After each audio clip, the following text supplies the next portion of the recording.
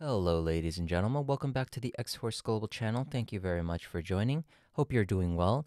Today, we're going to be quickly going over our weekly Ethereum analysis, and we won't be going too deep into the alternatives as we still want to stick to the trend until some form of major invalidation occurs, at least within the shorter time frames.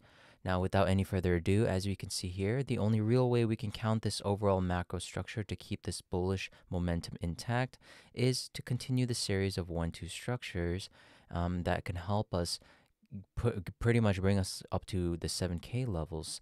And right now we are in what we can be seeing as a primary wave 3 being extended and we really have to get out of here soon as we are working in a pretty tight wiggle room to play with as we start to get to the smaller degrees, especially within this intermediate degree. We are starting to see a little bit of uncomfort because we are seeing some kind of larger consolidation occurring that can bring us into a possible different outcome, um, possibly into the bearish outcome as well. So ideally, you want to have these nested structures or internal impulse counts as tight as possible on the macro side without ruining the overall parabolic or channeling look of the larger degrees. As we start to consolidate longer, we essentially have to start thinking of what kind of bearish alternative might be in store for us. But for now, like I have said, we still have most of our internal counts intact and no major invalidation has occurred. So how would we count this nested structure of one twos? We have this 1, 2 here.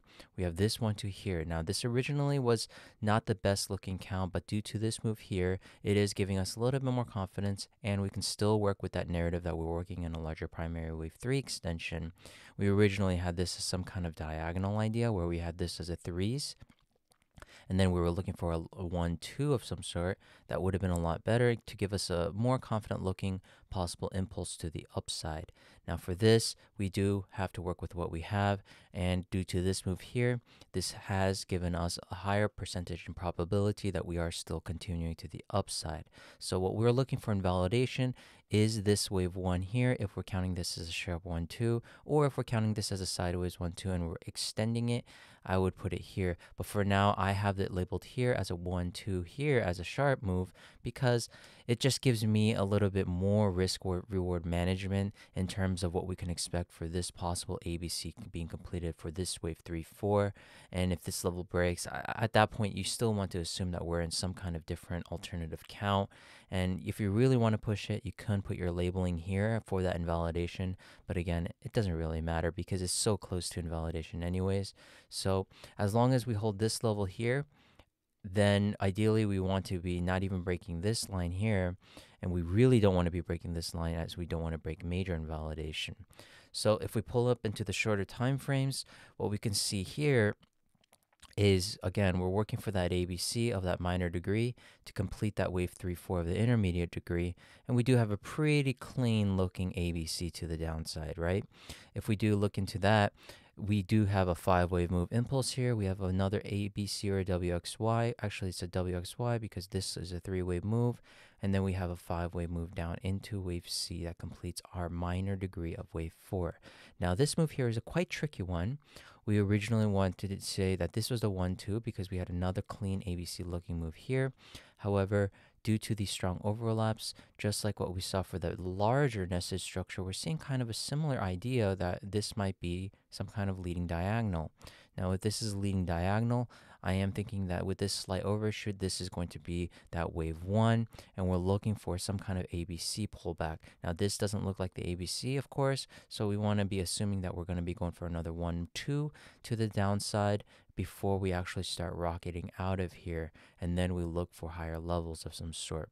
Now, wave one, two, of course, it's very tricky. We don't know the actual corrective pattern, but this move down does look impulsive, and it looks like that is the beginning of our A wave. And then we are looking for some kind of three wave pullback to complete this move and we don't want to be breaking this level here to not invalidate this one two in the making as we are speaking.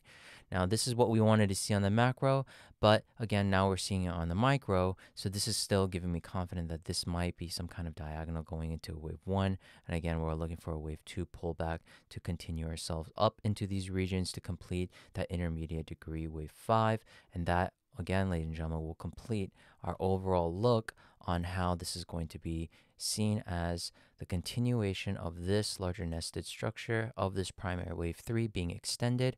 And without really um, going too detailed into the guidelines and rules, um, ideally in terms of Fibonacci extensions and the Fibonacci ratios of these wavelengths, since wave 1 of this intermediate degree and this wave 3 um, is equal in length or more or less similar in length, we are also possibly extending this as a wave 5 extension but again, we want to be rational here. But due to these being quite similar in length, we want to say that this wave 3 might be extended. Now, if we're saying that wave 3 or wave 1 is longer than this wave 3, then we want to essentially force ourselves to say that wave 5 is going to be shorter because we can, wave 3 cannot be the shortest wave. So depending on where you have these wavelengths, we are going to be irrational here and say that wave 5 is going to be ending here just due to the fact that we have that possibility of that 1, 2 being built on the shorter time frames. So hopefully that was helpful, ladies and gentlemen. I'm going to keep this a little bit short. If you're wanting to see a little bit more detailed analysis and possibly get a quicker update on the alternative ideas, please do not hesitate to reach out to me on Discord or Telegram. The, dis- the link is in the description below if you want to join the X Force Global Discord membership. And again, if you're not following me on social media, I do a lot more updates on there on the daily at X, formerly known as Twitter, at X Force Global. Thank you very much. I'll see you guys in the next video. Bye bye.